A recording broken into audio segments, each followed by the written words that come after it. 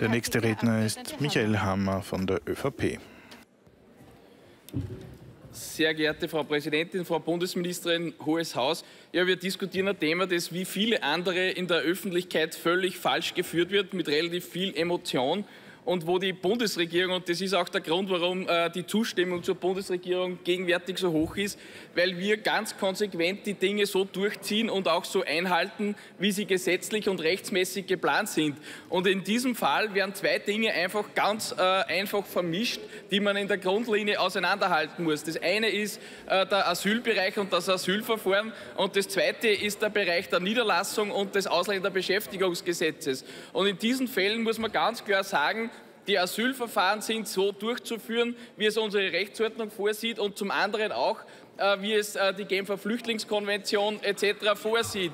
Und wir haben, und Herr Kollege Lorca, das wird gemacht und dort, wo keine Fluchtgründe vorliegen, gibt es halt einen negativen Asylbescheid, unabhängig davon, ob derjenige gerade in einem Lehrverhältnis ist oder nicht. Warum sie in Lehrverhältnisse sind, ist mit einer Änderung des Patensteiner Lasses aus 2016 zu begründen, wo man das, was ursprünglich für Saisoniers äh, grundsätzlich geplant war, halt auch für die Lehre äh, geöffnet hat. Und wir reden hier von diesen Fällen, wo aufgrund der Bestimmungen im Asylbereich negativ beschieden wird und daher eine Außerlandesbringung oder ein äh, kein Aufenthaltstitel mehr gegeben ist. Und äh, wir reden nicht von denen, der Kollege Wurm hat es gemacht, die grundsätzlich positiv beschieden sind, die asylberechtigt sind, weil die können ganz legal ihre Lehre machen und auch entsprechend äh, durchführen. Und der Erfolg, der Erfolg, der Erfolg äh, dieser Bundesregierung ist es einfach und daher haben wir diese Asylproblematik in den Griff bekommen. Jeder sagt, wir wollen keine Situation mehr wie 2015. Ja, warum gelingt es uns, dass es nicht mehr so eintritt? Weil wir viele Pull-Faktoren entsprechend abstellen.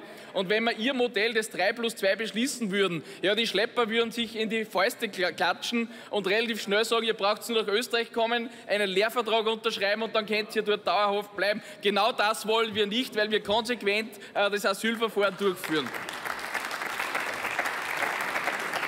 Und man soll nicht die Dinge vermischen, sondern man soll die Problemstellungen, die es gibt, konsequent auch bearbeiten. Und die Bundesregierung macht es entsprechend. Asylverfahren ziehen wir durch.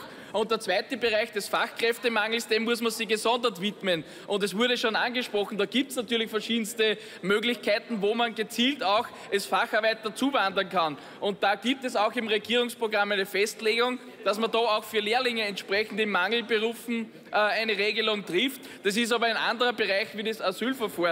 Und in Wesentlichen äh, muss man sich auf das konzentrieren. Und was noch dazu zu sagen ist, es wird immer getan, wie wenn diese einzelnen Asylwerber, die negativ beschieden werden, unseren Lehrlingsmangel und Fachkräftemangel äh, bereinigen. Ich habe schon gesagt, es gibt sehr viele Asylberechtigte und es gäbe auch äh, in Europa, und da gibt es die freie Niederlassung in, in, bei Mitgliedsländern der EU, ja, es gibt äh, in Spanien eine Jugendarbeitslosigkeit von 60, 70 Prozent. Auch das wäre eine Zielgruppe und da gibt es auch Projekte, wo man ganz gezielt Fachkräfte und Lehrlinge hier in Österreich machen kann. Die Vermischung zwischen Asyl- und Arbeitsbereich ist nicht zulässig und Sie dann da mit einzelnen Fällen ein Problem skizzieren, das wir nicht haben. Klare Linie bei allen Bereichen, dann werden wir die Probleme lösen und nicht da wieder Tür und Tor öffnen, wie Sie das vorhaben, nur weil das emotionalisiert wird. Das bringt uns nichts und das lehnen wir auch ab. Als nächstes zu Wort gemeldete Herr Abgeordneter Das war Michael Hammer von der ÖVP.